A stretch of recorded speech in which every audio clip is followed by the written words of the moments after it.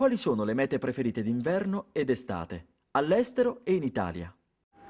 Buongiorno, sicuramente in Italia la regione preferita è la Sardegna per il suo mare limpido e le sue belle spiagge, mentre per quel che riguarda il mar Mediterraneo è molto apprezzato la Spagna con le isole Baleari e tutte le isole della Grecia. Qual è la durata media delle vacanze?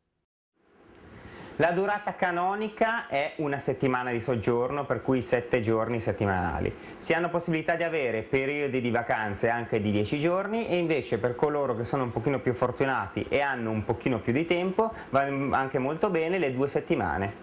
Gli italiani preferiscono fare vacanze in gruppi organizzati o soli? O a coppie fai da te?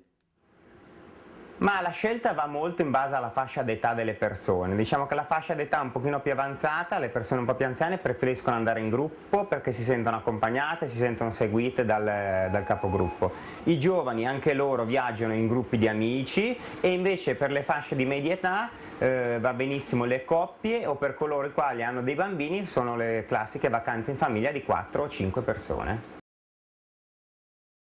Dove hanno trascorso le ultime vacanze natalizie ed estive?